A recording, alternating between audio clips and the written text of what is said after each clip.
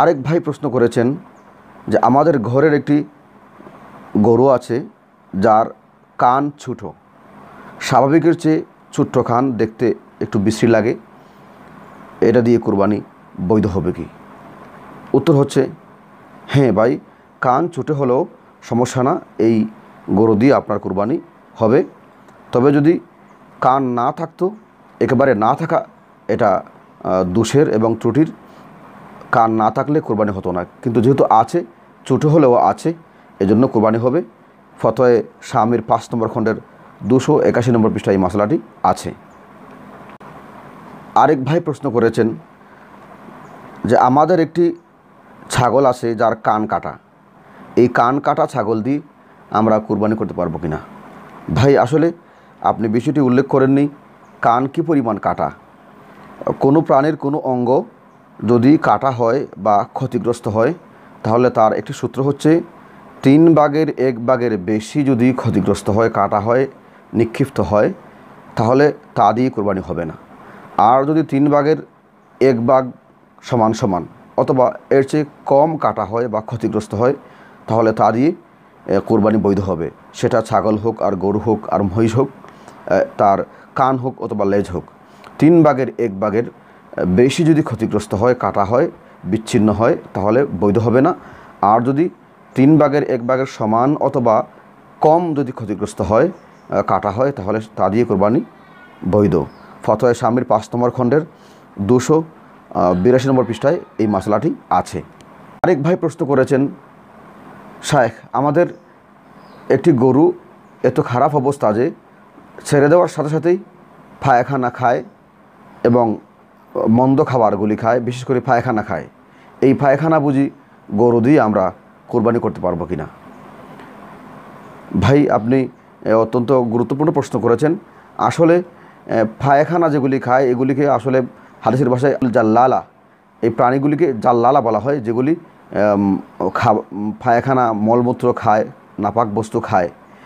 ওইগুলি দিয়ে কোরবানি করা ততক্ষণ পর্যন্ত বৈধ হবে না, যতক্ষণ না তাদের দেহ থেকে ওই নাপাক বস্তুর প্রভাব সরে যায়। যখন কোনো প্রাণী কোনো নাপাক খাবার খায়, পায়খানা, মলমূত্র খায়, তখন অবশ্যই তার দেহের মধ্যে তার একটা প্রভাব থেকে যায়। এই প্রভাবটা না যাওয়া পর্যন্ত কোরবানি করা বৈধ হবে না। ফোকাহায় কেরাম এই প্রভাব যাওয়ার একটি সমীক্ষা করেছেন, তারা একটি পরিমাপ উল্লেখ করে দিয়েছেন।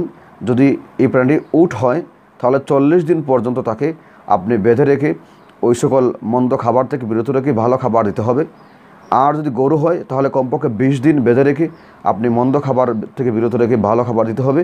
আর ছাগল হলে কমপক্ষে দশ দিন বেঁধে রেখে মন্দ খাবার থেকে বিরত রেখে ভালো খাবার দিতে হবে।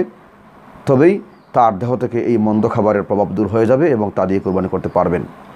আরেক ভাই প্রশ্ন করেছেন যে, আমাদের একটি ছাগল যার স্তনের একটি মাত্র বুটা আছে, তা দিয়ে আমরা কোরবানি করতে পারব? উত্তর হচ্ছে না ভাই। আসলে একটি সূত্র হচ্ছে যে কোনো অঙ্গের ব্যাপারে তিন ভাগের এক ভাগের বেশি যদি ক্ষতিগ্রস্ত হয়। এখানে ছাগলের যেহেতু দুটি স্তন থাকে, এ কারণে একটি চলে গেলে তিন ভাগের এক ভাগের বেশি ক্ষতিগ্রস্ত হয়ে গেল। এই মশালা গরুর ক্ষেত্রে প্রযোজ্য। যদি গরুর দুটি বুটা না থাকে, তাহলে কিন্তু কোরবানি হবে না। আর যদি একটি বুটা কাটা হয় বা না থাকে, তাহলে কোরবানি বৈধ হবে। ফতোয় স্বামীর পাঁচ নম্বর খণ্ডের দুশত চুরাশি নম্বর পৃষ্ঠায় এই মশলাটি আছে। আরেক ভাই প্রশ্ন করেছেন যে, আমরা একটি মেছে থাকি, তো আমাদের বন্ধুদের মধ্য থেকে কিছু অমুসলিমও আছেন যারা কুরবানি করার কাজটা দেখতে চান বা করতে চান, শরিক হতে চান। তিনি চাইলেন যে, আমি জবাইটা করে দেব। তাহলে তাকে দিয়ে কুরবানি করালে সে যদি বিসমিল্লাহ, আল্লাহ পর বলে, তাহলে কি বৈধ হবে? উত্তর হচ্ছে, না ভাই অমুসলিমের কুরবানি জায়েজ নেই, সে যদি বিসমিল্লাহ, আল্লাহ পরও বলে। বৈধ হবে না। পক্ষান্তরে আহলে কিতাব যারা ইহুদি বা খ্রিস্টান, সত্যিকার অর্থে যারা আল্লাহ একত্ববাদে বিশ্বাস করে এবং তারা তাদের নবীদের বিশ্বাস করে, এরকম আহলে কিতাবের কোরবানি বা জবাই করা প্রাণী খাওয়া বৈধ ছিল, কিন্তু বর্তমান সময়ে এরকম আহলে কিতাব পাওয়াটা মুশকিল। সত্যিকার আসল আহলে কিতাব যারা, তাদেরকে পাওয়াটা এখন দুষ্কর। এ কারণে মুসলিম ছাড়া অন্য কারও কোরবানি খাওয়া বৈধতার সুযোগ আর নাই। বাদায় ও সানায় এর পাঁচ নম্বর খণ্ডের পঁয়তাল্লিশ নম্বর পৃষ্ঠায় এই মশলাটি আছে। আরেক ভাই প্রশ্ন করেছেন, কোনো মহিলা কোরবানি করতে পারবে কি না হ্যাঁ এই বিষয়টা নিয়ে আমাদের সমাজে অনেক ভুল ধারণা আছে যে মহিলারা কুরবানি করতে পারবে না গরু, ছাগল, এমনকি মুরগ জবাই করতে পারবে না। বিষয়টা আসলে সত্যি নয়। বরং মহিলা হোক, শিশু হোক, এমনকি পাগল হোক, মাতাল হোক, যদি সে বিসমিল্লা বলতে পারে এবং কুরবানি বা জবাই করার নিয়ম জানে, তাহলে তার মাধ্যমে কুরবানি বা জবাই করা বৈধ আছে, কোনো অসুবিধে নেই। মাজমল আনহুরের দুই নম্বর খণ্ডের চারশো নিরানব্বই পৃষ্ঠায় এবং শহে কঞ্জ খঞ্জ এবং আইনির তিনশত পঁয়তাল্লিশ পৃষ্ঠায় মশলাটি আছে। এক বোন প্রশ্ন করেছেন যে কুরবানির সময় আমার মেস চলছিল। আমার ইচ্ছা ছিল আমি নিজে কুরবানি করব। কিন্তু মেন্সের কারণে করতে পারিনি। আসলে কি মেন্স থাকা চলা অবস্থায় কোরবানি করা যায়? বোন আপনি একটি গুরুত্বপূর্ণ প্রশ্ন করেছেন। আসলে মেন্স চলাকালীন অবস্থায় হাইজ হোক আর নেফাস হোক অথবা জানাবতের গোসল ফরজ এমন অবস্থায় যদি কেউ কোরবানি করতে চায় তাহলে কোনো অসুবিধে নেই, কোরবানিতে কোনো প্রভাব পড়বে না। এমনকি বুবা বা খতনা করা ছাড়া কোনো মানুষ এরকম যদি হয়, তাহলে তার কোরবানি করার করতে কোনো বাধা নেই। হাইজ হোক, নেফাস হোক, অথবা গোসল ফরজ যার উপর, জানাবতের অবস্থায় যিনি- আছেন, এমন লোকের কোরবানি করতে কোনো অসুবিধে নেই। পাক হওয়া শর্ত নয় জবাই করার সময় পবিত্র হওয়া শর্ত নয়। সাকবুল আনহুরের দু নম্বর খণ্ডের চারশো বত্রিশ নম্বর পৃষ্ঠায় মশলাটি আছে। আরেক ভাই প্রশ্ন করেছেন, বিসমিল্লাহি আল্লাহ আকবর বলা ওয়াজিব নাকি মুস্তাহাব? ভাই, আসলে বিসমিল্লাহ বলা, আল্লাহর নাম উচ্চারণ করাটা ওয়াজিব এবং এর সাথে আল্লাহ আকবর জড়িত করে বলা, সেটা মুস্তাহাব। কেউ যদি শুধু বিসমিল্লাহ বলে ফেলে, তাহলে তার ওয়াজিব আদায় হয়ে যাবে। আর যদি আল্লাহ আকবর সহ বলে, তাহলে ওয়াজিবের সাথে মুস্তাহাবটাও আদা হয়ে গেল। ফাতোয়া স্বামীর পাঁচ নম্বর খণ্ডের একশো বিরানব্বই নম্বর পৃষ্ঠায় এই কথাটি আছে। আরেক ভাই প্রশ্ন করেছেন যে, কোনো মুসলমান যদি ভুলে বিসমিল্লা ছেড়ে দেয়, তাহলে তার কোরবানি হালাল হবে কি না হ্যাঁ ভাই এরকম হতেই পারে যে, কোরবানি করার তো একটা গুরুত্বপূর্ণ কাজ। অনেক সময় প্রাণীটা, পশুটা লাফালাফি, দাপাদাপি করে, ওই সময় বিসমিল্লা বলাটা অনেকেই ভুলে যায়। এই ভুলে যাওয়ার ব্যাপারটা, মুসলমান যদি ভুলে যায় এবং সে কুরবানি করে ফেলে, তাহলে তাতে কোনো অসুবিধা নেই। বৈধ বস্তুরা পশুটা হালাল হবে। কারণ নবীজি বলেছেন ফাইন নাত্তাসমিয়াতাফি কলবি কুল্লি মুসলিমিন। প্রতিটি মুসলমানের অন্তরে আল্লাহর নাম আছে, সেই হিসেবে তার কোরবানি বৈধ হয়ে যাবে। তবে কেউ যদি ভুলে নয়, ইচ্ছাকৃতভাবে বিসমিল্লা ছেড়ে দেয়, তাহলে এই পশু হারাম হয়ে যাবে। আরেক ভাই প্রশ্ন করেছেন যে, আমাদের একটি বড় ষাঁড় ছিল যা কোরবানি করতে গিয়ে আমরা অনেক লোক শরিক হয়েছি। ছুরি চালানোর সময় ইমাম সাহেব কাটতে পারছিলেন না। আমরা ধরেছি। একমাত্র ইমাম সাহেব বিসমিল্লাহ, আল্লাহ আকবর বলেছেন, আর আমরা কেউ কিছু বলিনি। আমাদের কোরবানি কি বিশুদ্ধ হয়েছে? দুঃখিত ভাই, আসলে বিষয়টা হচ্ছে, ছুরি চালানোতে বা কোরবানিতে যারা অংশগ্রহণ করেন, তাদের সকলেই বিসমিল্লাহ বলা ওয়াজিব। এর মধ্যে কেউ যদি বিসমিল্লাহ বলতে ভুলে যান বা না বলেন অথবা একথা মনে করে ছেড়ে দেন যে একজনের বলাই যথেষ্ট, তাহলে কোরবানি বিশুদ্ধ হবে না, এই পশুটি হারাম হয়ে যায়। ফতোয় স্বামীর পাঁচ নম্বর খণ্ডের একশো বিরানব্বই নম্বর বিষয়ে এই মশলাটি আছে। আরেক ভাই প্রশ্ন করেছেন, শায়েখ, আমি বিসমিল্লাহ আল্লাহ আকবর বলে একটি ছুরি হাতে নিয়ে আমার সামনে একটি ছাগল ছিল জবাই করার জন্য আমি রেডি হয়েছি। ইতিমধ্যে ছাগলটি দৌড়ে চলে গেছে আমাদের সামন থেকে। তো আমাদের আরও কয়েকটি ছাগল ছিল, আর একটি ছাগল নিয়ে এসেছি। তখন আমি ওই ছাগলটি জবাই করার সময় আবার বিসমিল্লা বলতে হবে কি না আপনি সুন্দর প্রশ্ন করেছেন ভাই। আসলে যে ছাগলটি চলে গিয়েছে, আপনি যে বিসমিল্লা বলেছিলেন, আপনি কিন্তু ওই ছাগলের জন্য বা ওই পশুর জন্য বিসমিল্লা বলেছিলেন। এখন আপনি আরেকটি ছাগল কোরবানি করবেন এখানে আপনি আবার বিসমিল্লাহ আল্লাহ বলতে হবে। কারণ তর কিতাবে এবং ফিখার কিতাবে আছে। তাসমিয়াটা এটা ছুরির জন্য হবে নাকি পশুর জন্য হবে? আহ, উত্তরে বলা হয়েছে বিসমিল্লাটা বলা হয় পশুর জন্য। এজন্য আপনি পশুর জন্য বিসমিল্লা বলেছিলেন। এখন যেহেতু এই পশুটি নেই এজন্য আপনার বিসমিল্লাটিও নেই। এখন নতুন পশু এসেছে তার জন্য নতুন বিসমিল্লা বলতে হবে। আর যদি এরকমটা হতো যে আপনি এই ছাগল জবাইয়ের সময় যার জন্য বিসমিল্লা বলেছিলেন চাকু চালানোর সময় দেখলেন যে চাকুটার মধ্যে ধার নেই এটা ভুথা কাজ করছে না আপনি আরেকটি চাকু নিলেন, তখন কিন্তু আপনাকে আবার বিসমিল্লা বলতে হবে না, কারণ আপনি বিসমিল্লা বলেছেন এবং এই পশুর জন্য বিসমিল্লা বলেছিলেন। মাসালাটি কাজী খান আলাল হিন্দিয়াতে তিন নম্বর খণ্ডের তিনশো উনসত্তর নম্বর পৃষ্ঠায় মশলাটি আছে। আরেক ভাই প্রশ্ন করেছেন, নখ চুল কাটার পর কি করব, কোথায় ফেলব? এটা কি ডাস্টবিনে ফেলে দেওয়া যায়? ড্রেনে ফেলে দেওয়া যায়? ভাই, আপনার এই প্রশ্নের জবাব হচ্ছে, নখ চুল কাটার পর এই নখ চুলকে দাফন করতে হবে। ফিখে হানাফির অনবদ্য ফার্সি সংকলন, মাল আবুদ্দামিন হতে, আল্লামা কাজী সানাউল্লাহ ফানিফুতি রহমতুল্লাহ আলাইহি মালাবুদ্দার একশত চুয়াত্তর নম্বর পৃষ্ঠায় বলেছেন যে, নখ চুল দাফন করা উচিত।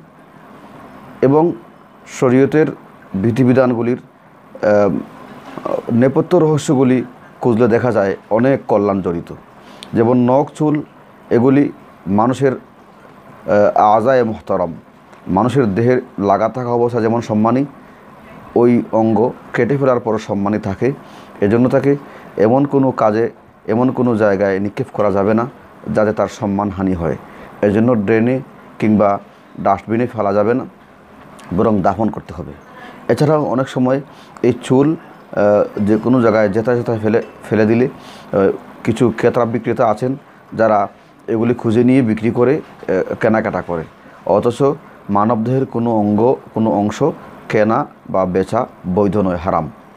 এছাড়াও আরেকটা বিষয় দেখা যায় যে নখ, চুল দিয়ে জাদুকরেরা অনেক সময় মানুষের অনিষ্ট সাধন করে। এ কারণেও যদি আমরা নখ, চুল ফুতে ফেলি, তাহলে একদিকে আমাদের দেহের অঙ্গের সম্মান রক্ষা হয়। আরেকদিকে জাদুকরদের যে কোনো প্রবলেম করা থেকে আমরা আত্মরক্ষা করতে পারি। এছাড়াও এছাড়াও আরেক ভাই প্রশ্ন করেছেন শেখ অনেক সময় বাংলাদেশে দেখা যায় পীরের বাড়িতে কুরবানির পশু পাঠানো হয় এবং পীরের নামে কুরবানিও করা হয়।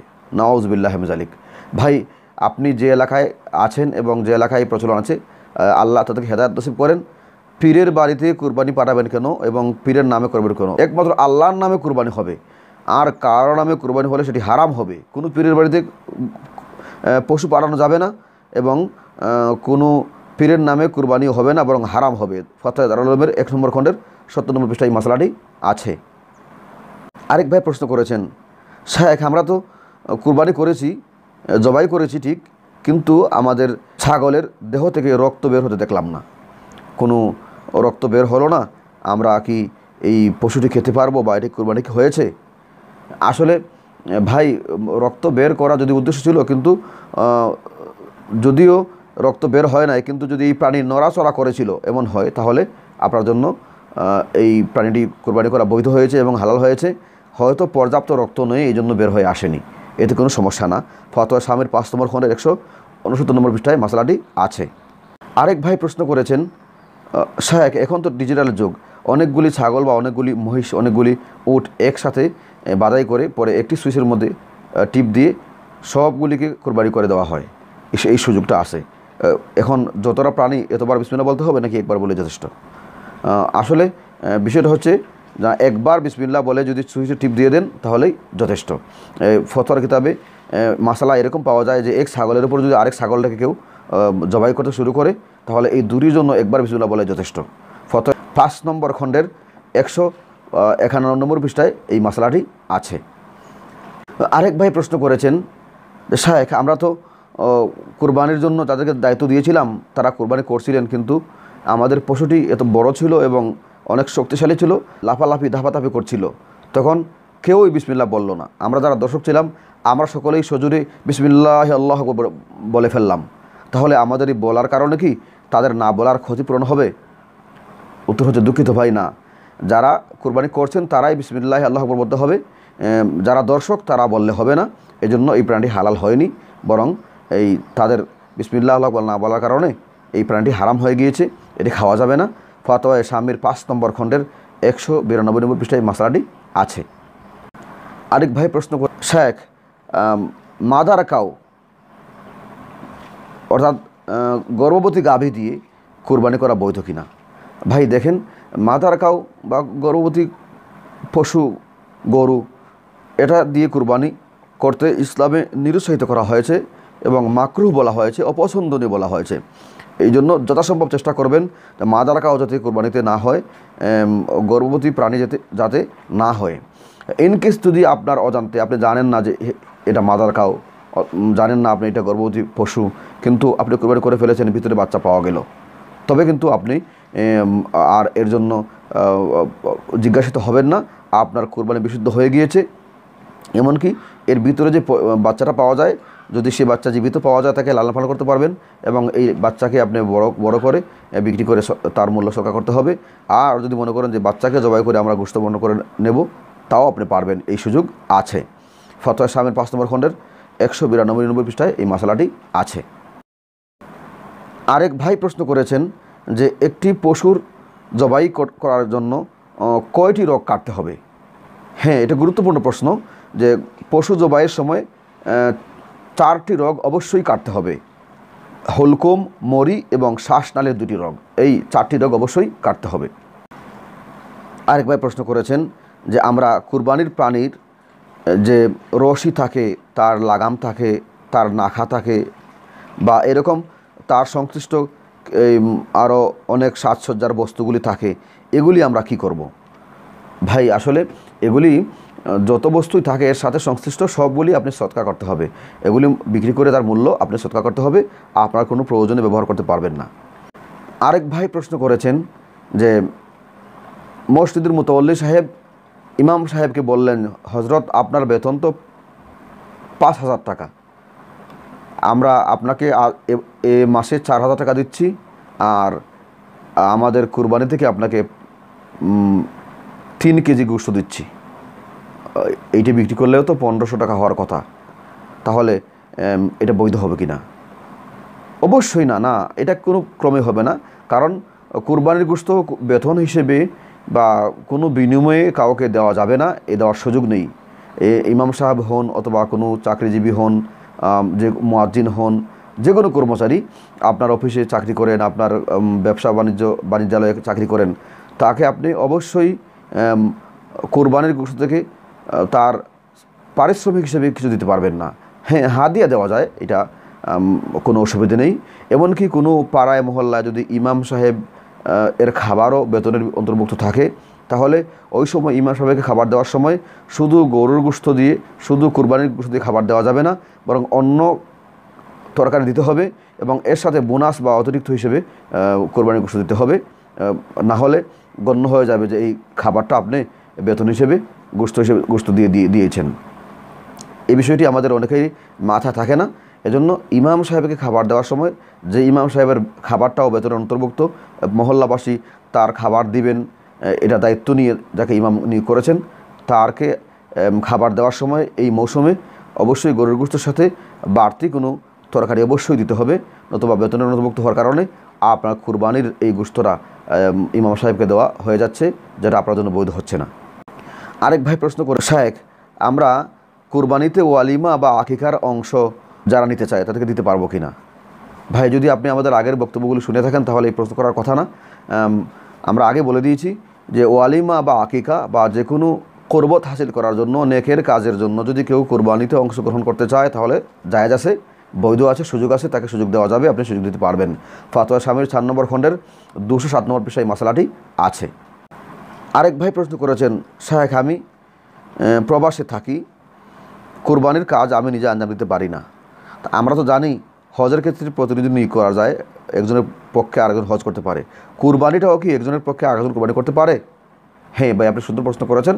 হ্যাঁ যেভাবে হজের ক্ষেত্রে এমনকি জাকাতের ক্ষেত্রে প্রতিনিধি তার পক্ষ থেকে আদায় করতে পারে, ঠিক তেমনিভাবে কোরবানিটাও কোনো প্রতিনিধি নিয়োগ করে আদায় করা যায়। আপনি প্রবাসে আছেন, আপনার পক্ষ থেকে প্রতিনিধি দিয়ে আপনি কোরবানি করাতে পারবেন। যদিও প্রবাসে থাকার কারণে আপনার জন্য অজীব নয়, কিন্তু আপনি কোরবানি করাবেন, যাকে দিয়ে প্রতিনিধি দিয়ে, এই প্রতিনিধি যখন কোরবানি করবে, আপনার পক্ষ থেকে কোরবানি আদায় হয়ে যাবে, সেটা নফল হিসেবে আদায় হবে। বাদায় ও সানায়ের পাঁচ নম্বর খণ্ডের উনসত্তর নম্বর পৃষ্ঠায় এই মশলাটি আছে। আরেক ভাই প্রশ্ন করেছেন যে, পশু জবাই করাটা আমার কাছে কষ্টকর মনে হয়, আমার জন্য ঝামেলার মনে হয়। আমি যে মূল্যের পশু ক্রয় করব, এই মূল্যটা যদি আমি এই কোরবানির সময়ে সৎকা করে দিই তাহলে কি আমার পক্ষ থেকে কোরবানির দায়িত্ব রহিত হবে? ভাই, আপনি একটি গুরুত্বপূর্ণ প্রশ্ন প্রশ্ন করেছেন। আসলে এই কোরবানি হচ্ছে রক্ত প্রবাহিত করা। এই জন্য হাদিসের মধ্যে আছে যে ঈদের দিনে আর কোনো আমল আল্লাহর কাছে এত পছন্দনীয় নয়, যত পছন্দনীয় হয় এহরাকদ্দম বা রক্ত প্রবাহিত করা। এজন্য রক্ত প্রবাহিত করার কাজটা আপনাকে করতে হবে, যদি কোরবানি আপনি করতে হয়, কোরবানি আপনার পক্ষ থেকে আদায় হতে হয়। কোরবানি আদায়ের জন্য রক্ত প্রবাহিত করতে হবে, প্রাণী জবাই করতে হবে। এর পরিবর্তে আপনি যদি টাকা দিয়ে দেন, সৎকার করেন, যত টাকায় সৎকার করেন না কেন, কোরবানির সব আপনি পাবেন না, কোরবানি আদায় আপনার হবে না। ফতোয় স্বামীর পাঁচ নম্বর খণ্ডের দুশো নিরানব্বই নম্বর পৃষ্ঠায় এই মশলাটি আছে। আরেক ভাই প্রশ্ন করেছেন, শায়েখ, আমরা প্রবাসে থাকি, আমার এক বন্ধু শিয়া আছেন। তবে তিনি এমন শিয়া যিনি হজ আলী রাজ্লাহ তালকে শুধু মর্যাদা দেন, সম্মান দেন, কিন্তু শায়খানকে গালি, গালাগালি করেন না। হজরত আবুকর সিদ্দিক রাজ্লাহ তালহু হজরত উমর রাজ্লাহ তালহুকে তিনি গালাগালি করেন না। কোনো সাহাবিকে তিনি গালাগালি করেন না। তিনি যদি আমাদের কুরবানি করেন, আমাদের সাথে শরিক হন, তাহলে কি কোনো সমস্যা? উত্তর হচ্ছে না। এইরকম শিয়া যদি হয়, তাহলে তার কুরবানি করা, জবাই করা বৈধ আছে, তাকে শরীকে রাখাও বৈধ আছে। ফাতাওয়া দারাল আলমের এক নম্বর খণ্ডের ছশো সাতানব্বই নম্বর পৃষ্ঠায় এই মশলাটি আছে। এবং শিয়াদের এই অংশটাই বা এই প্রকারটাই মুসলিমদের অন্তর্ভুক্ত। আরেকবার প্রশ্ন করেছেন, ইহুদি খ্রিস্টানদের দেশে আমরা বসবাস করি, তারা মজা নেওয়ার জন্য আমাদের প্রাণীটি জবাই করে দিতে চায় বা জবাই করতে চায়, আমরা কি তাকে সুযোগ দিতে পারি? না ভাই, যদিও আহলে কিতাব বলে ইহুদি খ্রিস্টান বোঝানো হয়েছে মূলত ইহুদি খ্রিস্টান বলতে নবীজি সাল্লাহ ইসলামের যুগে যারা ছিল, যারা আল্লাহর একত্ববাদে বিশ্বাস করত এবং ইয়াহুদিরা হজরত মুসা আল্লাহ সাল্লামকে নবী হিসেবে বিশ্বাস করতো এবং খ্রিস্টানরা হজরত ইসা আলাইসলামকে নবী হিসেবে বিশ্বাস করতো এবং তাদের রেসালাতের উপর বিশ্বাস করার কারণে তারা তাদের বিধানও মানত। কিন্তু বর্তমান সময়ের ইহুদিরা, খ্রিস্টানরা অনেকটা বিকৃত হয়ে গিয়েছে, তারা একত্ববাদে বিশ্বাস করবে দূরের কথা, অনেকে তৃত্ববাদে বিশ্বাস করে। হজরত ঈসা আলাহ ইসলামকে খোদার পুত্র বলে হজরত উজরা ইসলামকে খোদার পুত্র বলে। এমনভাবে তাদের মধ্যে এমন বিকৃতি হয়ে গিয়েছে যে তাদেরকে সঠিক অর্থে আহলে কিতাব বলার সুযোগ নেই। এ কারণে কোনো ইহুদি খ্রিস্টান দিয়ে আপনি কোরবানি করাতে পারবেন না। তারা চাইলেও আপনাকে তাদেরকে বুঝিয়ে সুঝিয়ে সরিয়ে রাখবেন এবং বলবেন যে, না, এটা আমাদের ধর্মীয় কাজ। আপনাকে এই- সুযোগ আমি দিতে পারছি না বলে দুঃখিত। ফতোয়া স্বামীর পাঁচ নম্বর খণ্ডের দুশো আট এবং দুশো অষ্টাশি নম্বর পৃষ্ঠা এই মশলাটি আছে। আরেক ভাই প্রশ্ন করেছেন শাহেখ আমরা তো কুরবানি করেছি, জবাই করেছি ঠিক, কিন্তু আমাদের ছাগলের দেহ থেকে রক্ত বের হতে দেখলাম না। কোনো রক্ত বের হলো না, আমরা কি এই পশুটি খেতে পারব বা এটি কুরবানি হয়েছে? আসলে, ভাই, রক্ত বের করা যদি উদ্দেশ্য ছিল, কিন্তু যদিও রক্ত বের হয় নাই, কিন্তু যদি এই প্রাণী নড়াচড়া করেছিল, এমন হয়, তাহলে আপনার জন্য এই প্রাণীটি কোরবানি করা বৈধ হয়েছে এবং হালাল হয়েছে। হয়তো পর্যাপ্ত রক্ত নয় এই জন্য বের হয়ে আসেনি। এতে কোনো সমস্যা না। ফতোয়া স্বামীর পাঁচ নম্বর খণ্ডের একশো উনসত্তর নম্বর পৃষ্ঠায় মশলাটি আছে। আরেকবার প্রশ্ন করেছেন, একটি হালাল প্রাণীর কোন কোন অংশ খাওয়া যাবে না বা হারাম? এই অত্যন্ত গুরুত্বপূর্ণ প্রশ্ন। আমরা এই এই বিষয়টির দিকে অনেকেই খেয়াল করি না।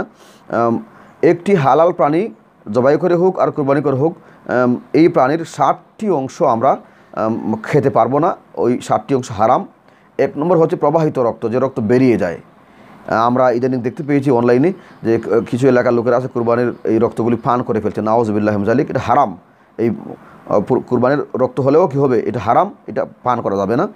আর দুই নম্বর হচ্ছে প্রাণীর যৌনাঙ্গ, এটা নর হোক আর মাদি হোক, যৌনাঙ্গ খাওয়া যাবে না। তিন নম্বর হচ্ছে অন্ডকুশ সেটাও খাওয়া যাবে না। চার নম্বর হচ্ছে, রগ, কোনো রগ খাওয়া যাবে না। পাঁচ নম্বরে, মূত্রথলি, সেটাও খাওয়া যাবে না। আর ছয় নম্বরে হচ্ছে, পিত্তথলি পিত্ত, এই পিত্ত খাওয়া যাবে না। আর সাত নম্বর হচ্ছে, গ্রন্থি, যে গোটাগুলি পাওয়া যায় টিউমারের মতো, এগুলিও খাওয়া যাবে না। আসসালামু আলাইকুম ও রহমতুল্লাহ বরাকাত আলহামদুলিল্লাহ রবিল আলমিন ওসলাত ওসালাম আলা সঈদুল আম্বিয়া ইউল মুসলিন আম্মাবাদ সুপ্রিয় দর্শক, শ্রোতা, ভাই বোন, দেশ প্রবাস থেকে যারা আমাকে দেখছেন, আমাকে শুনছেন, সকলকে আসন্ন ঈদ উল আজহার অগ্রিম শুভেচ্ছা জানিয়ে শুরু করছি। আজ আপনাদের সামনে আকিকার মাসআলা উল্লেখ করব। কারণ কুরবানি সামনে আসলেই আমাদের সকলেই আকিকা সম্পর্কে প্রশ্ন করেন। এবং আকিকা কুরবানির সাথে করতে চান, যে কারণে আকিকার অনেকগুলি বিষয় নিয়ে আমাদেরকে অনেকে প্রশ্ন করেন। এজন্য আপনাদের সামনে আমি আকিকার চোদ্দোটি মাসালা উল্লেখ করব। প্রথম নম্বর কথা হচ্ছে, আকিকা ওয়াজিব ফরজ কিছু নয়, বরং আকিকা হচ্ছে মুস্তাহাব পর্যায়ের, সুন্নাহ পর্যায়ের। এই কথাটি ফতোয় স্বামীর পাঁচ নম্বর খণ্ডের দুশো তেরো নম্বর পৃষ্ঠায় উল্লেখ আছে যে আকিকা মুস্তাহাব। এটাকে ফরজ ওয়াজিব মনে করা বা অতি জরুরি মনে করার কোনো কিছু নেই। দুই নম্বর মশলা হচ্ছে, মৃত বাচ্চার আকিকা মুস্তাহাব নয়, ফতোয় রাহিমিয়ার দু নম্বর খণ্ডের এগারো নম্বর পৃষ্ঠায় আছে, মৃত বাচ্চার আকিকা করতে হবে না, হয় না।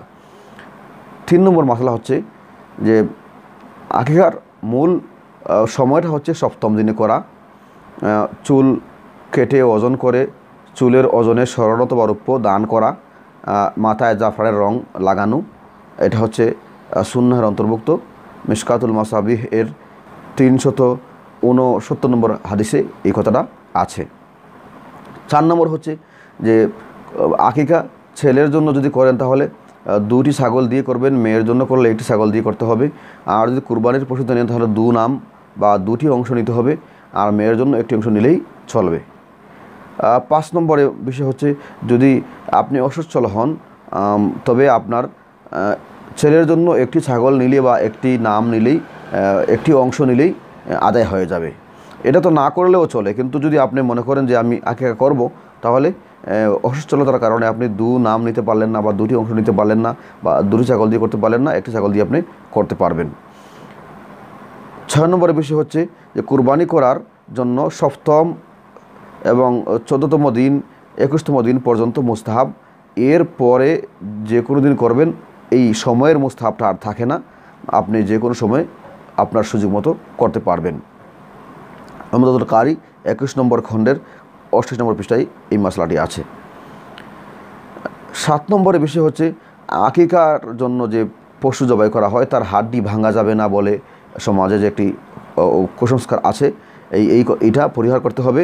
হাড্ডি, অন্যান্য হাড্ডি আমরা যেভাবে ভাঙি বা হাড্ডি ভাঙার প্রয়োজন পড়লে আমরা আমরা যা খাওয়া খাবার খাই এবং যা ভাঙার ভাঙি যেভাবে করি, এতে কোনো অসুবিধা নেই। আকিকার হাড্ডি ভাঙা যাবে না ভাঙ- ভাঙলে অসুবিধা হবে এরকম কথাটা, এটা কুসংস্কার। আট নম্বরে আরেকটি কুসংস্কার আছে যে যখন মাথায় খুর লাগানো হবে তখন পশুর গলায় চুরি চালানো হবে। হুবহু এক টাইমে করতে হবে। এরকম যারা মনে করেন, এটা একটা কুপ্রথা এটা প্রত্যাখ্যান করতে হবে, এটা অত্যন্ত মন্দ বিষয়। বরঞ্চ আপনি আগে মাথা মুন্ডাবেন, এরপরে কুরবানি করবেন, এটা হচ্ছে উত্তম। ফতোয় মাহমুদিয়ার চার নম্বর খণ্ডের দুশো আটানব্বই নব্বই পৃষ্ঠায় এই কথাটি আছে। নয় নম্বর বিষয় হচ্ছে আকিকার গোস্ত আপনি কাঁচা অথবা পাকা বন্টন করে দিতে পারবেন বা দাওয়াত খাওয়াতে পারবেন। যে কোনোভাবে আপনি ব্যবহার করতে পারবেন, কোনো অসুবিধা নেই। ফতোয় স্বামীর পাঁচ নম্বর খণ্ডের দুশো তেরো নম্বর পৃষ্ঠায় আছে। দশ নম্বরের মশালা হচ্ছে যে আকিকার গোস্ত পিতা, মাতা, ধনী, গরিব সবাই খেতে পারে। এতে কোনো বাধা নেই। মা খেতে পারবে না, বাবা খেতে পারবে না, এরকম যে কথাগুলি আমরা শুনি, এগুলি কোনো ভিত্তি নেই। মা আলাবুদ্দা মিনহু দুশো ছত্রিশ নম্বর পৃষ্ঠায় এই মশলাটি আছে। এগারো নম্বর মশলা হচ্ছে আকিকার পশু এবং কোরবানির পশু হুবহু একই পর্যায়ের। অর্থাৎ যে সকল পশু দিয়ে কোরবানি করা যায়, ওই সকল পশু দিয়েই আকিকা করা যায়। ভিন্ন কোনো পশু দিয়ে করা যাবে না। যেভাবে কোরবানি করার জন্য গরু মহিষ, উট, ছাগল, ভেড়া, দুম্বা এগুলি দিয়ে কোরবানি করা যায়, ঠিক তেমনিভাবে আপনি আকিকা করতে হলেও এই প্রাণীগুলি দিয়ে করতে হবে। আপনি যদি খরগোশ দিয়ে করতে চান, হরিণ দিয়ে আকিকা করতে চান, তাহলে আকিকা আদায় হবে না শূন্য আদায় হবে না। বারো নম্বর মাসালা হচ্ছে যে আকিকা করতে গিয়ে আমরা কোরবানি করব, তখন দোয়া কী পড়ব? তো এই দোয়াটা হচ্ছে আল্লাহ মাহাজিহি আকিকাতু ফোলানিন দামুহা বিদামিহি ওলাহমুহা বিলাহমিহি ওয়াজমুহা বিআজমিহি ওজিলদুহা বিজিলদিহি ওশারুহা বিশাহরিহি। আল্লাহ মাজালহা ফেদা আনলি ফোলানিন মিনান্নার এই দোয়া পড়া। এরপরে বলবে, ইন্নি ওয়াজ্জাহাতু ওয়াজহা লিল্লাযী ফাতারাস সামাওয়াতি ওয়াল আরদ হানিফা ওয়া মা আনা মিনাল মুশরিকিন। ইন্না সালাতি ওয়া নুসুকি ওয়া মাহইয়ায়া ওয়া মামাতি লিল্লাহি রাব্বিল আলামিন। লা শারীকা লাহু ওয়া বিযালিকা উমিরতু ওয়া আনা আউয়ালুল মুসলিমিন আল্লাহুম্মা লাকা ওয়া মিনকা বিসমিল্লাহি, আল্লাহু আকবার বলে কোরবানি করবে। মেয়ে যদি হয়, তাহলে যেখানে দামুহা বিদামি হি বলছে, এখানে দামুহা বিদামিহা ওয়ালাহমুহা বিলাহমিহা ওয়াজমুহা বিআজমিহা ওয়াজিলদুহা বিজিলদিহা ওয়া শাহরুহা বিশারিহা এই হা বলবে যেহেতু স্ত্রীলিঙ্গ বোধক সর্বনাম হচ্ছে হা। তেরো নম্বর মশলা হচ্ছে আকিকার পশু জবাই করার পর তার মাথা সাধারণত দেওয়া হয় যিনি শিশুর মাতা মনে করেন তাকে এবং ধাত্রী যে মহিলা তাকে রান দেওয়া হয়। এবং বাকি তিন ভাগ গোস্তকে তিন ভাগ করে বর্ণ করা হয়। এটা কি বৈধ আছে? আসলে আকিকার গুস্ত এটা বর্ণনা করার বিষয়। আপনি যাকে মন চায় যেভাবে আহ, বর্ণনা করে দিতে পারেন সেটা আপনার অধিকার আছে। আপনি কাউকে মাথা দিলেন কাউকে রান দিলেন কাকে কোনো অংশ দেবেন সেটা আপনার ইচ্ছা। কিন্তু এরকম দিতেই হবে, এরকম মনে করা যাবে না এই সুযোগ নাই। বরং দান করতে গিয়ে আপনি যাকে যারা পছন্দ সেটা দিতে হবে, কোনো প্রথা হিসেবে আপনি সেটা করতে পারবেন না। মাল আবুদ্দা মিনহু, দুশো সাতাশ নম্বর পৃষ্ঠায় এই মশলাটি আছে। আকিকার মাসালা যেহেতু বললাম, ওই জন্য চোদ্দ নম্বরে বলতে চাই যে, একজন শিশু যখন জন্ম নেয়, তখন আমাদের করণীয় কী? শিশু জন্ম নেওয়ার সাথে সাথে তার নারী কেটে, এরপর তাকে গোসল করাবেন এরপর তাকে কাপড় পরাবেন।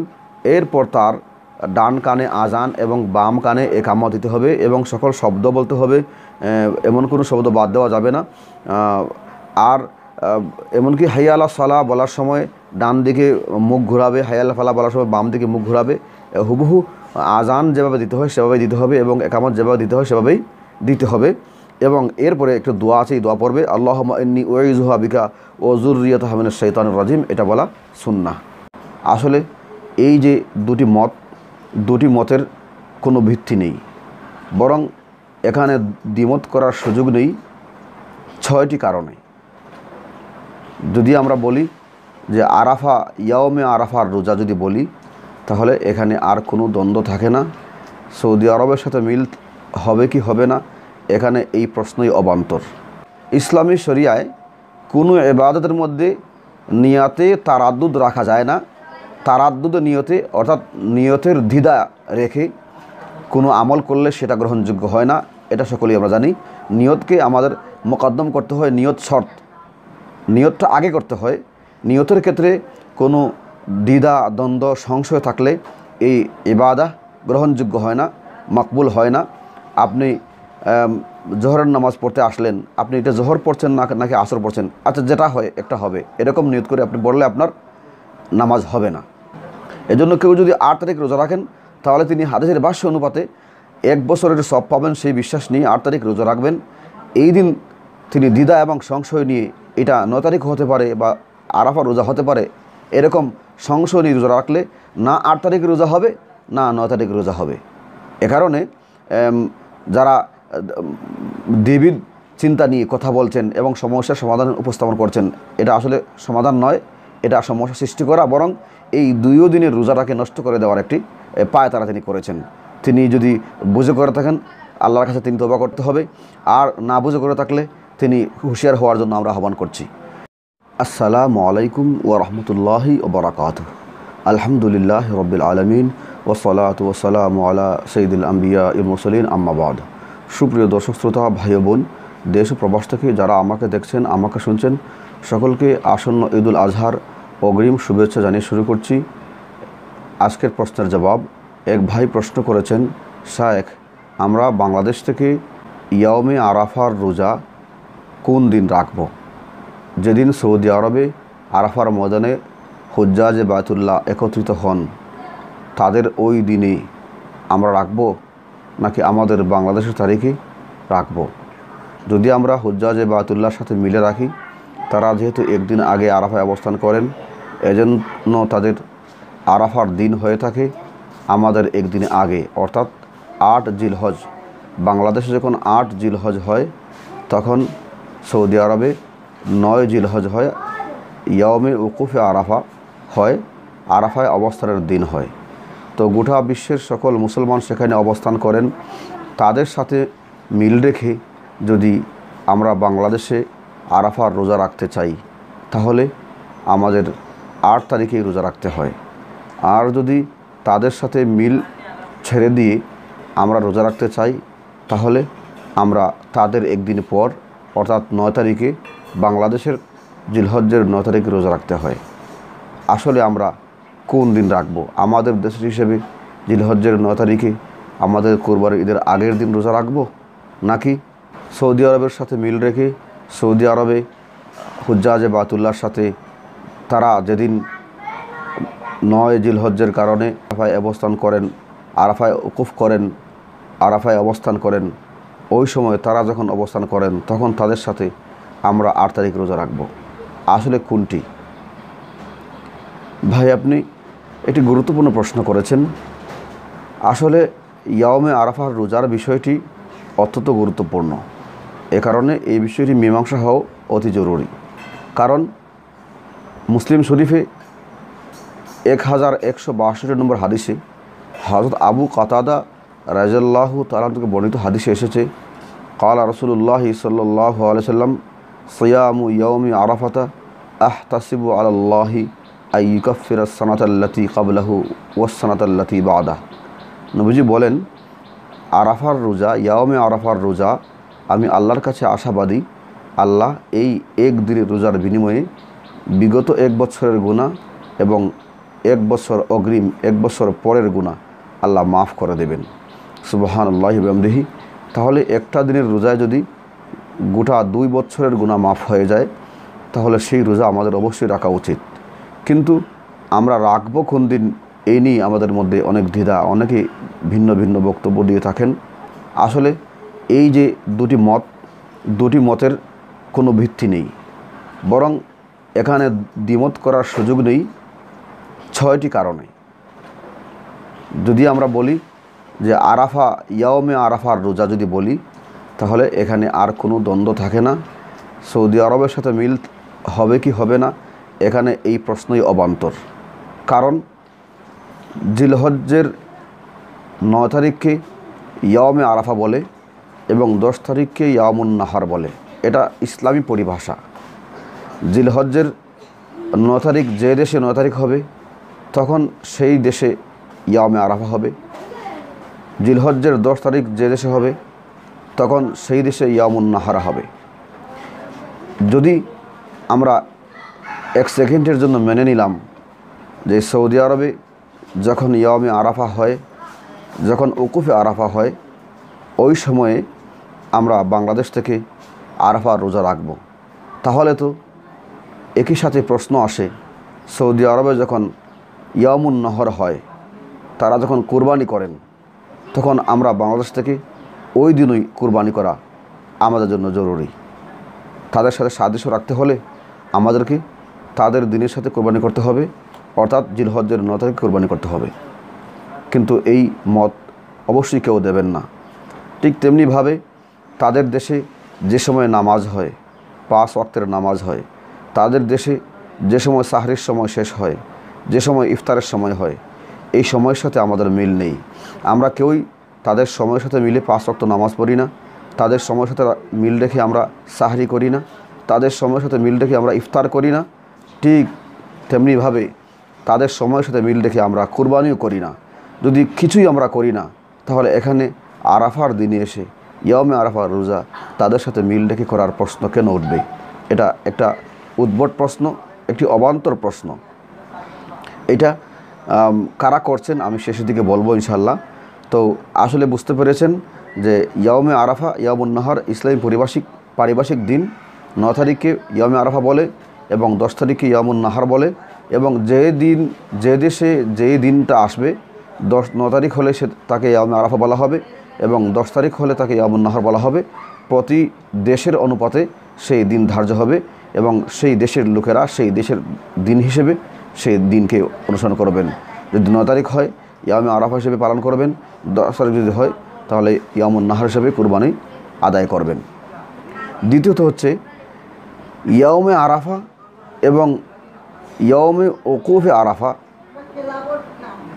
ভিন্ন দুটি বিষয়, সম্পূর্ণ দুটি ভিন্ন বিষয়। ইয়মে আরাফা বলা হয় জিলহজ্জের নয় তারিখকে। আর ইয়মে ওকুফে আরাফা বলা হয় যেদিন হুজ্জাজে বায়তুল্লাহ আরাফায় অবস্থান করেন।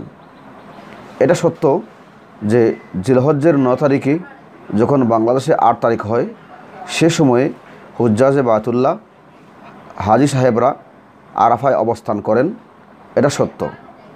কিন্তু তাদের সাথে আমাদের রোজা রাখার কথাটা হাদিসে আসে, আসছে কি না সেটা দেখা দরকার। হাদিসে কোন শব্দ ব্যবহার করা হয়েছে, হাদিসে কী বলা হয়েছে? হাদিসে বলা হয়েছে, সিয়ামু ইয়মি আরাফাতা। আরাফা ইয়মে আরাফার রোজা। হাদিসে বলা হয়নি, সিয়ামু ইয়মি উকুফে আরাফাতা। আরাফায় অবস্থানের দিন বলা হয়নি।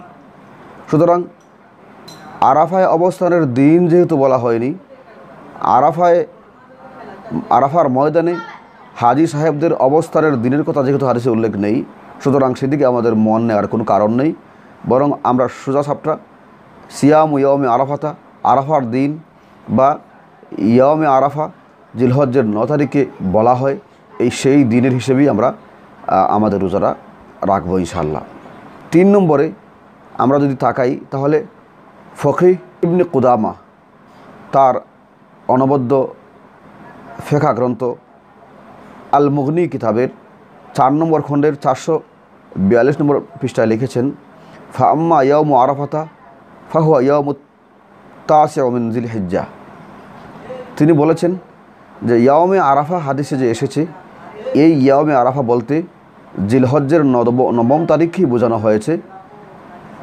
নবম তারিখ যদি বোঝানো হয়ে থাকে, তাহলে যে দেশে নবম তারিখ হবে, সে দেশে ইয়ামে আরাফা পালিত হবে। চার নম্বর প্রণিধানযোগ্য বিষয় হচ্ছে, আসলে আমরা যারা বলছি যে সৌদি আরবের সাথে মিল রেখে, হাজি সাহেবদের সাথে মিল রেখে রোজা রাখার বিষয়টা, এটা একটা মরিচিকার মতো। আম, দাবি যার কোনো ভিত্তি নেই। কারণ হাজি সাহেবরা আরাফার ময়দানে রোজা রাখা ওয়াজিব নয় এবং তারা রোজা রাখবেন কি না সে মর্মে একটি হাদিস বহার শরীফে এসেছে মুসলিম শরীফে এসেছে সে তার সব হাদিসের কিতাবে এসেছে যে নবী সাল্লাহ আসলাম আরাফার দিনে রোজা কি রোজা না সেই কথাটা জানার জন্য সাহাবাহিক রামের পক্ষ থেকে নবীজির কাছে একটা পাত্রে দুধ প্রেরণ করা হয়েছিল। নবী সাল্লাহ ইসলাম সকলের সামনে দুধ পান করেছেন। অর্থাৎ ওই দিন নবীজি রোজা রাখেননি। একথা বোঝানোর জন্য যে ইয়ামে আরাফায় রোজা রাখা জরুরি নয় এবং রোজা রাখতে হবে না। নবীজি রোজা রাখেননি। তাহলে যেখানে আরাফায় রোজা রাখা জরুরি নয়, হুজ্জাজে বাতুল্লারাই রোজা রাখবেন না। তাহলে তাদের সাথে আমাদের রোজা রাখার প্রশ্ন আসে থেকে একেই বলে, যার বিয়া তার খবর নাই, পাড়াপড়শির ঘুম নাই। এরকম উদ্ভট চিন্তা তাদের যা কাদের মাথায় আসে, আমি একটু পরে বলছি। এরপর পাঁচ নম্বরে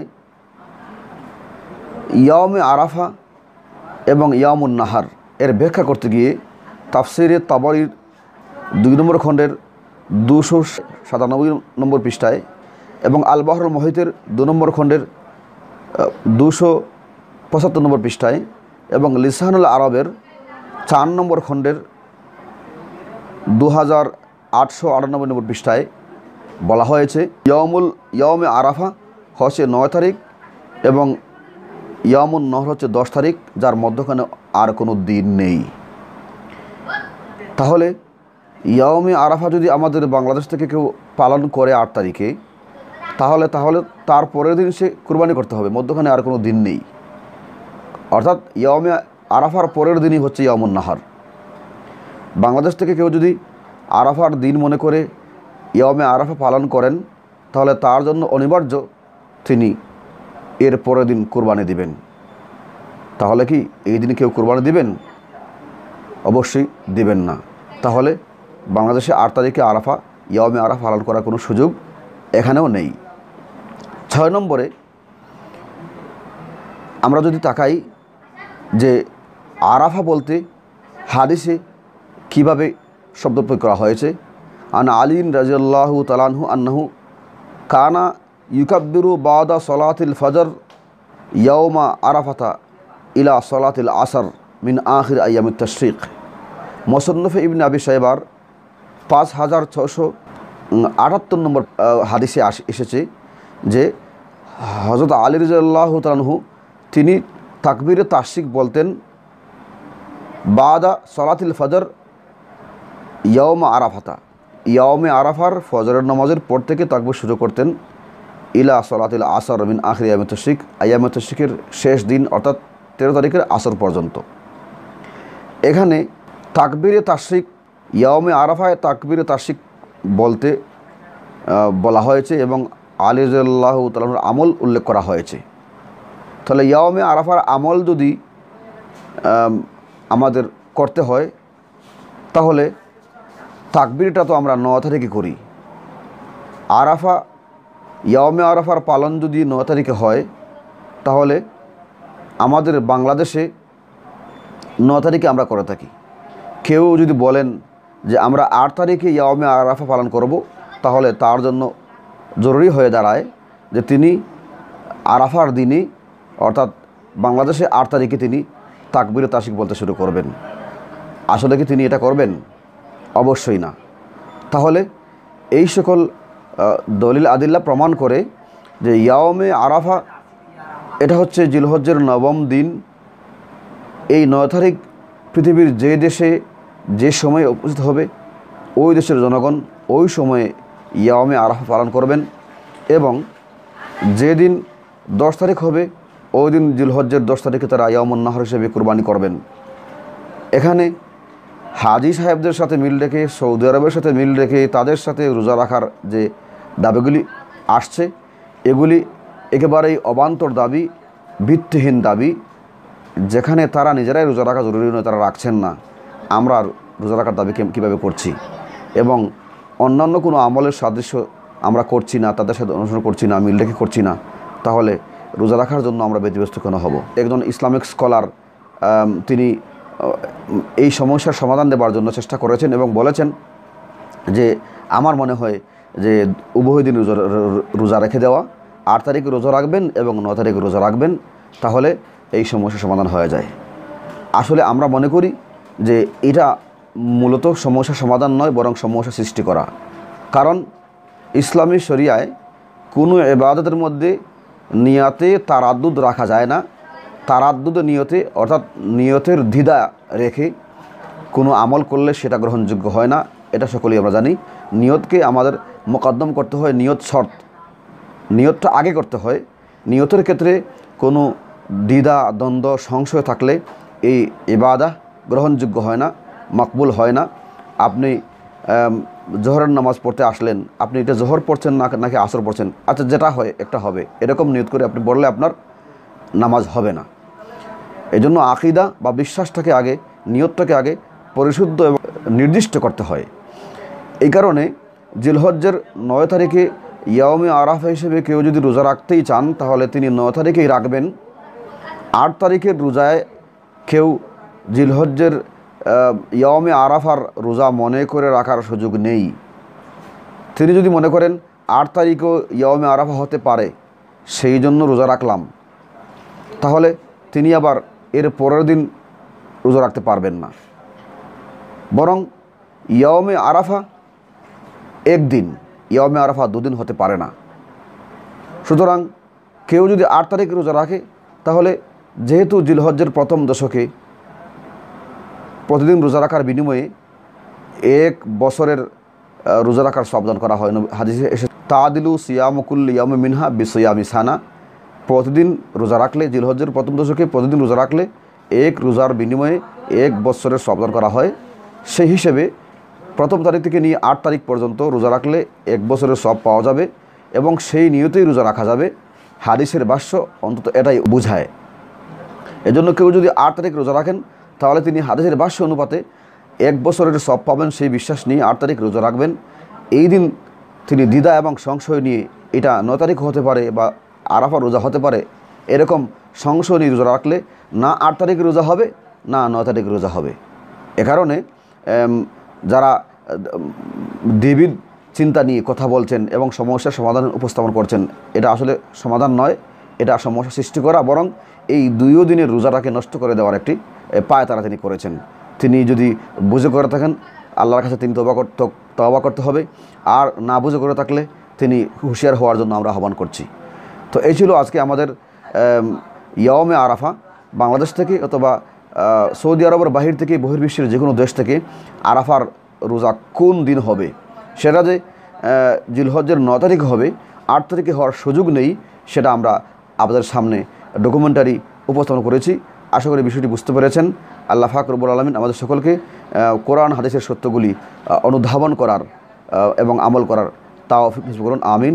আসসালামু আলাইকুম রহমতুল্লাহি ওবরাকাত আরেক ভাই প্রশ্ন করেছেন, তাকবির তাসিক এই বছর, অর্থাৎ দু হাজার একুশ সালে, জুলাই মাসে, তো এই ঈদ আমরা তাকবির তাসিক কখন শুরু হবে এবং- কখন শেষ হবে?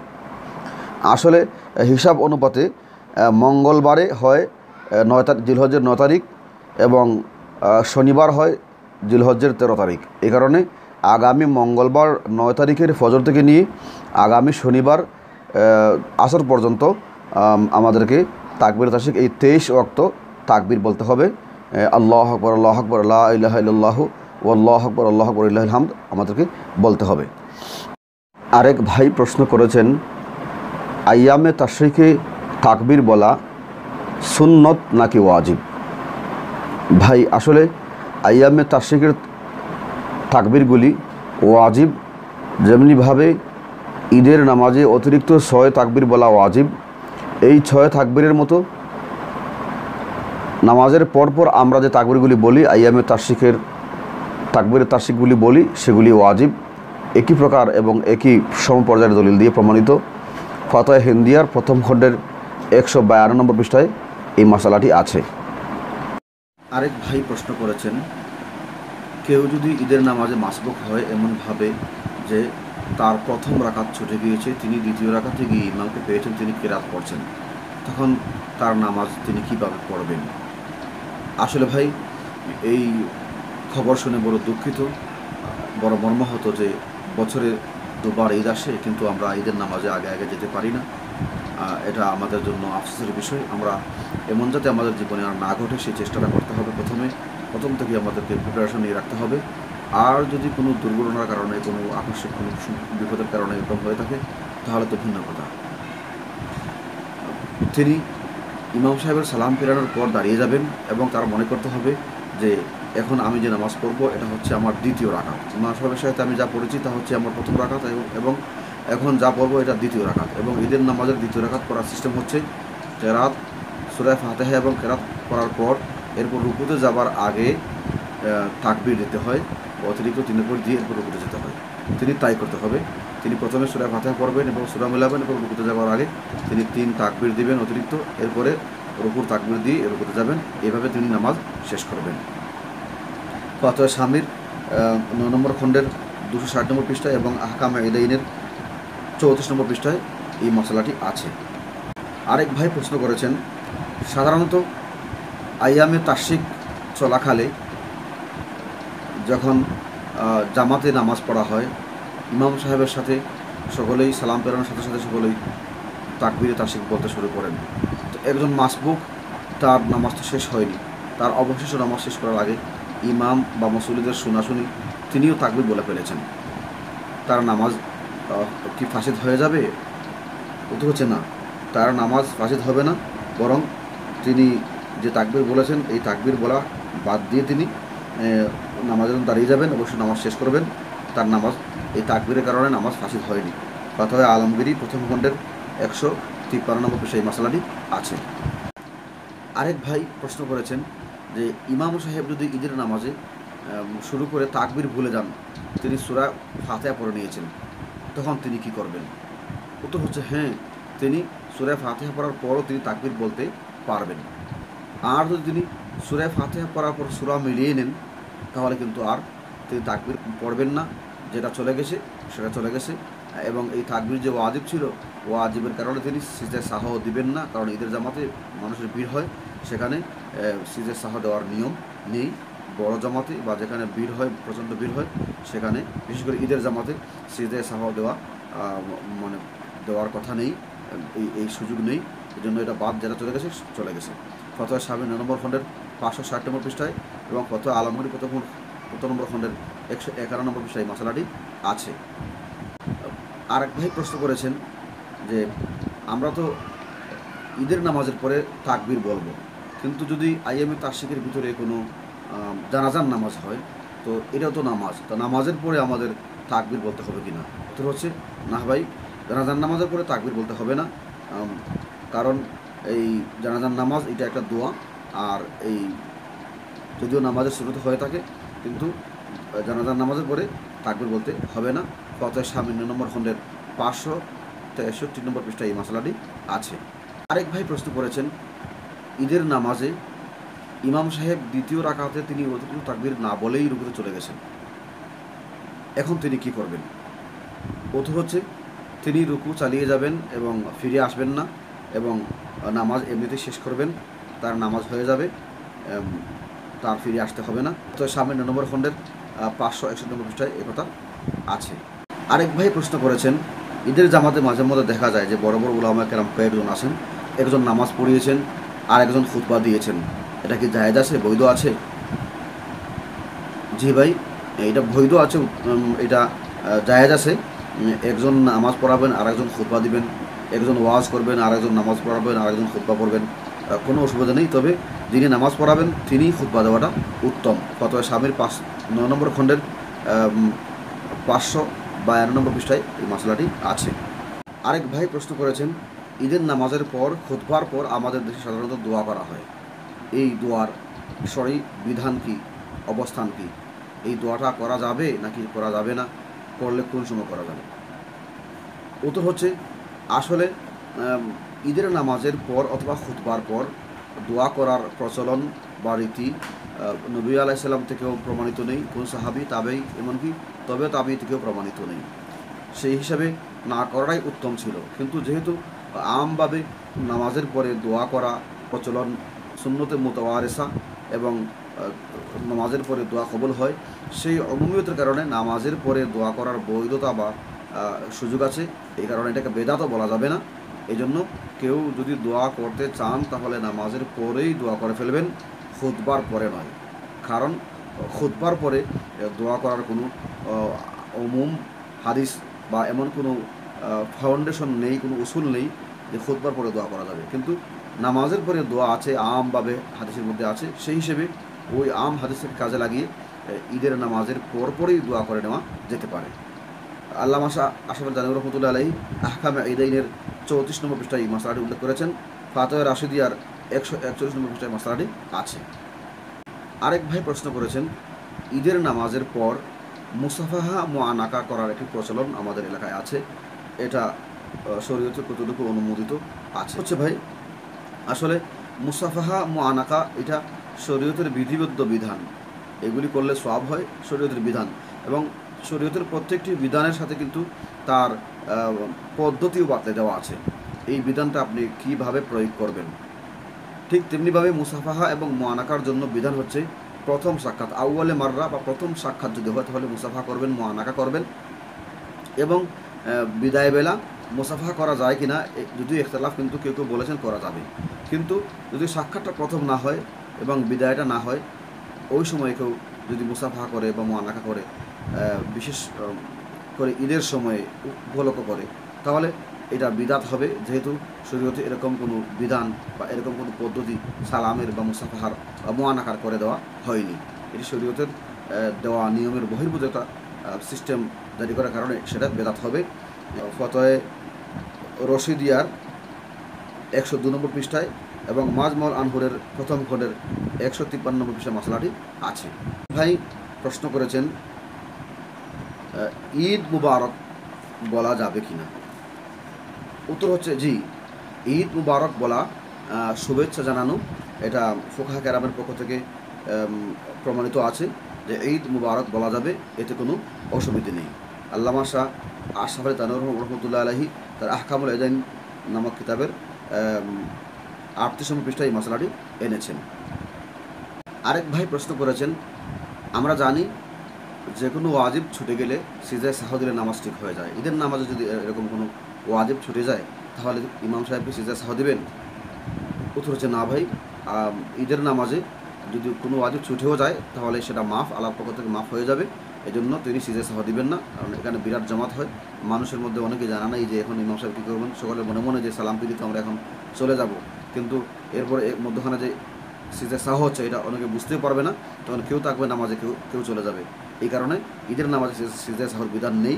আহকামে ঈদাইন আল্লাহ শাহ আসাদ থানবির রহমতুল্লাহ আলহী তার চৌত্রিশ নম্বর পৃষ্ঠায় এই কথাটা লিখেছেন এবং বেহেস্ট জবরের এগারো নম্বর খণ্ডে এই মশলাটা আছে।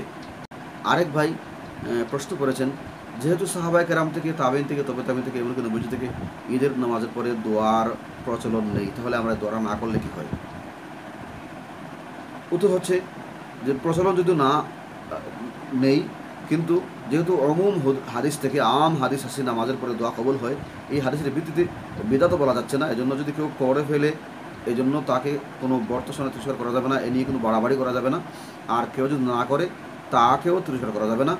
শরীয়তের গুরুত্ব দেওয়ার মতো অনেক মাসালা আছে, কথা বলার মতো, সময় ব্যবহার করার- মতো অনেক মাসালা আছে। এই মাসালা এমন নয় যে এটা নিয়ে আমাদের মাথা ঘামাতে হবে, এটা নিয়ে আমাদের অনেক সময় ব্যয় করতে হবে। এজন্য কেউ যদি দোয়া করে, কোনো অসুবিধা নেই আম হাদিসের আলোকে সে তিনি করছেন। আর কেউ করে না তাহলে তিনি করছেন না যেহেতু বর্ণিত নেই ঈদের নামাজের কোনো দোয়া বর্ণিত নেই সে হিসেবে করছেন না। এজন্য আহ, কেউ কাউকে দোষী করতে পারবেন না এই সুযোগ নেই। আল্লাহ মাসা আশাফালি তানবির রহমতুল্লাহ আলহী আহকাম ঈদিনের চৌত্রিশ নম্বর পৃষ্ঠায় এই কথাটা বলে দিয়েছেন এবং ইমদাদুল ফতোয়ার দুশো চার নম্বর এই কথাটা বলে দেওয়া হয়েছে। আরেক ভাই প্রশ্ন করেছেন ঈদের নামাজের পরে দোয়ার কথা ফতাওয়ে দারুল উলুমে এসেছে। তাহলে আমরা করবো না কেন উত্তর হচ্ছে ফতাওয়ে দারুল উলুমে একথা বলা আছে दुआ मांगना ईदैन की नमाज के बाद मिसल तमाम नमाजों के मुस्ताहब है लेमुमिल আদিল্লাতি তিনি মুস্তাহাব বলে দে- দিয়েছেন ওমুমে আদিল্লা দলিল হিসেবে অর্থাৎ যেহেতু আমভাবে নামাজের পরে দোয়া হয় দোয়া করা যায় এই দলিলের ভিত্তিতে কিন্তু সা- নবীজ সাল্লাহ ইসলামের আমলে নাই সাহাবাই কারাম তাবিন তবে তাবিনদের আমলে নাই এই এই কারণে যেহেতু কনফিউশন হয়ে গিয়েছে, এ কারণে এই বিষয়ে কোনো বাড়াবাড়ি করতে নিষেধ করা হয়েছে আমাদের আসলাফ এবং আকাবিদের পক্ষ থেকে। আরেক ভাই প্রশ্ন করেছেন, যদি ঈদের নামাজে কেউ দোয়া করতেই চান, তাহলে ইমাম সাহেব কীভাবে দোয়া করবেন? তিনি কি কিবলামুখী হয়ে দোয়া করবেন, নাকি ডানে ফিরবেন, নাকি বামে ফিরবেন, নাকি মসজিদের দিকে ফিরবেন, নাকি দাঁড়িয়ে দোয়া করবেন? কোনভাবে দোয়া করবেন যদি করতে চান? উত্তর হচ্ছে যে, দলিলের ভিত্তিতে ঈদের নামাজে দোয়া করছি, সেটা হচ্ছে নামাজে দোয়া হয়, নামাজে দোয়া করা যায় সেই হিসেবে। এই কারণে নামাজে যেভাবে দোয়া হয়, যেমন জোহরের নামাজের পরে দোয়া হয়, যেভাবে ইমাম সাহেব কিবলামুখী হয়ে বসেই দোয়া করে কোন দিকে ফিরেন না, দাঁড়ান না বসে কিবলামুখী হয়ে দোয়া করেন, ঠিক তদুপভাবে জোহরের নামাজের ভাবে যেভাবে দোয়া করে থাকেন মাগরিব নামাজে যেভাবে দোয়া করে থাকেন, সেভাবেই তিনি বসে কিবলামুখী হয়েই দোয়া করে দিবেন। এমনটাই বলে দেওয়া হয়েছে। আহকাম ঈদানের আটত্রিশ নম্বর পৃষ্ঠায় এবং ইমদাদুল ফতোয়ার এক নম্বর খণ্ডের একশো সাত নম্বর পৃষ্ঠায়। আরেক ভাই প্রশ্ন করেছেন, ঈদের দিনে সে সেমাই ফিরনি পাকানোর সরই বিধান কি?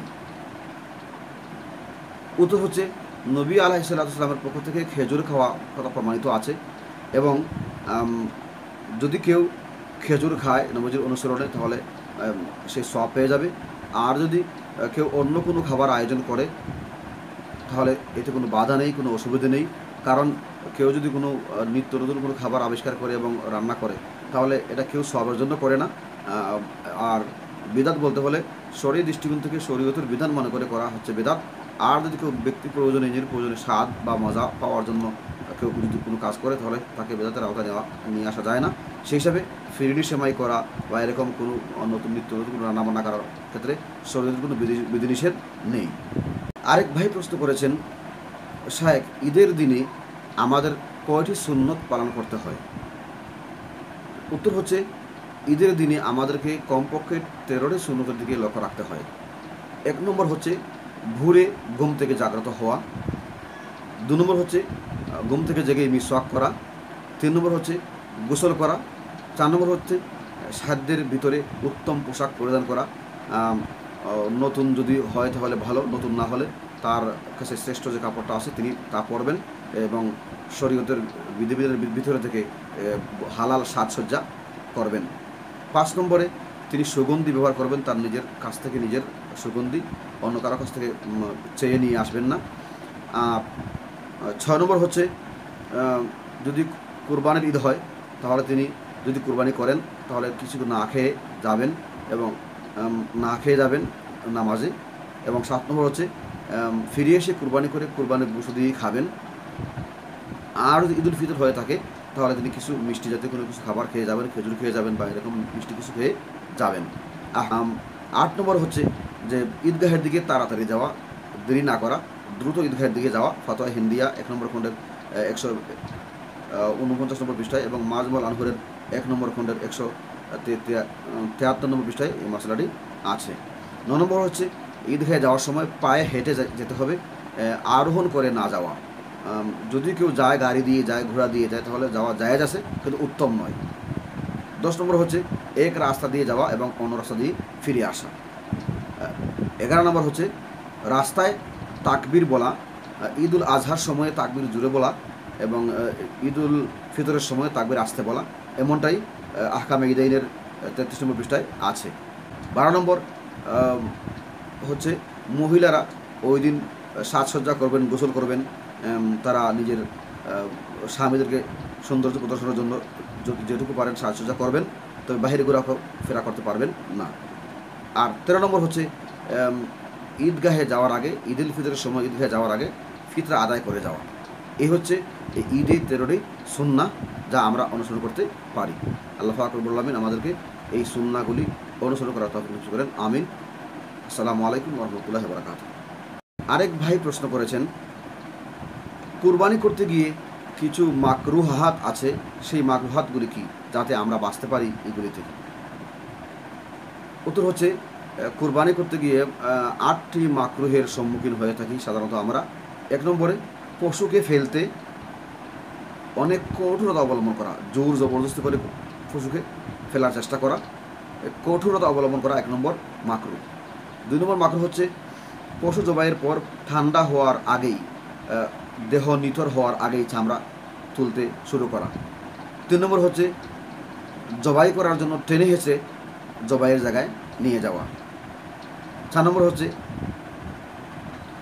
কুরবানির পশুকে ধরে ফেলে দিয়ে এরপর ছুরি তেজ করতে যাওয়া ছুরিতে শান দিতে যাওয়া ধার দিতে যাওয়া যাতে পশুর অনেক কষ্ট হয়। আর পাঁচ নম্বর মাকরু হচ্ছে জবাই করতে গিয়ে কুরবানির পশুর মাথা পৃথক করে ফেলা, এটা মাকরু, যদিও হারাম হয় না। ছ নম্বর, পশুকে ফেলে রেখে অন্য কোনো কথা বা কাজে মগ্ন হয়ে যাওয়া কুরবানি করতে দেরি করা, জবাই করতে দেরি করা। সাত নম্বর হচ্ছে, পশুর চার পা বেঁধে ফেলা, এটা মাকরু। এজন্য এক পা রেখে দিয়ে তিন পা আটকে দিয়ে কুরবানি করা যায়। সেই সুযোগটা আছে। মাজমল আনহারের দু নম্বর খন্ড চারশো তিরানব্বই পৃষ্ঠায় এই কথাটা আছে। আর আট নম্বর মাকরু হচ্ছে, পশুর গর্দনার দিক দিয়ে জবাই করার চেষ্টা করা। যেটা পশুর জন্য অনেক কষ্টের কারণ হয়ে দাঁড়ায়। এগুলি হচ্ছে কোরবানি করতে গিয়ে মাকরু কাজ, অপছন্দনীয় কাজ, আমরা এগুলি থেকে বেঁচে থাকার চেষ্টা করব। আল্লাহ ফাকরবুল আলমিন আমাদের সকলকে তাহফিক নসিব করেন। আরেক ভাই প্রশ্ন করেছেন, কুরবানির পশুর ভুঁড়ি খাওয়া বৈধ কি না হ্যাঁ ভাই ভুঁড়ি খাওয়া বৈধ আছে, কারণ কোরবানির পশুর কয়টি অংশ খাওয়া হারাম? তা আমরা ইতিমধ্যে প্রশ্নের উত্তর দিয়েছি। ষাটটি অংশ খাওয়া যায় না, প্রবাহিত রক্ত এবং যৌনাঙ্গ, অন্ডকোষ, রগ, মূত্রথলি পিত্ত এবং গ্রন্থি। এই সাত অংশের বাহিরে যা আছে সব খাওয়া যায়। সেই হিসেবে আমরা বলতে পারি ভরি খাওয়া অবৈধ নয়, হারাম নয়। বাকি যারা হারাম বলতে চান বা অবৈধ বলতে চান, সেটা তাদের রুচির জন্য বলে থাকেন। এবং একজনের অরুচির কারণে কোনো বস্তু হারাম ঘোষণা করা যায় না। এরকম আছে, নবী সাল্লাহ আলাইসাল্লামের সামনে জব নামে প্রাণী আনা হয়েছে। তখন নবীল ইসলাম বলেছেন, লা আকুলহু আলা হারিমুহু আমি খাব না, আমি হারামও ঘোষণা করব না। এটার প্রতি আমার আকর্ষণ নেই বা এটার প্রতি আমার প্রকারের অনীহা আছে। তো নবীজির অনীহার কারণে কিন্তু ওটা হারামও ঘোষণা করা হয়নি, হারাম হয়নি। এ কারণে বড়ির প্রতি যদি কারও অনীহা থাকতে পারে, এটার মধ্যে যেহেতু ময়লা থাকে, সেই হিসাবে ওইটাকে তিনি গ্রহণ করবেন না, খাবেন না, কিন্তু ওটাকে হারাম ঘোষণা করতে পারেন না। কোরআন, হাদিসের সুস্পষ্ট নস বা ঘোষণা ছাড়া। আহমেদ বখতিয়ার প্রশ্ন করেছেন যে, বেনামাজির কুরবানি বিশুদ্ধ হবে কি না আসলে একজন মানুষ যদি কোরবানি করেন, তিনি অবশ্যই আল্লাহকে সন্তুষ্ট করার জন্য কোরবানি করবেন এবং আল্লাহকে সন্তুষ্ট করা যায় যে সকল মাধ্যমে, এর মধ্যে বড় মাধ্যম হচ্ছে নামাজ। নিয়মিত পাঁচ অক্ত নামাজ পড়া, এটা ফরজের অন্তর্ভুক্ত এবং অপরিহার্য। নামাজ ছাড়া আল্লাহকে সন্তুষ্ট করার সুযোগ নেই। কিন্তু ঈদের মৌসুমে আসলে কিছু লোক আছে যে গোটা বছর নামাজ পড়েন না, কিন্তু কুরবানি করতে যান। তাদেরকে কিন্তু আবার বারণ করা যাবে না, কোরবানি করা হবে না, এরকম বলা যাবে না। কারণ, কোরবানি যেমন একটি স্বতন্ত্র ইবাদত, নামাজ আরেকটি স্বতন্ত্র ইবাদত, একটি আরেকটির সাথে সম্পৃক্ত নয়। এজন্য নামাজের কারণে তার কোরবানি বন্ধ হবে না, বন কোরবানির কারণে তার নামাজ বন্ধ করা যাবে না।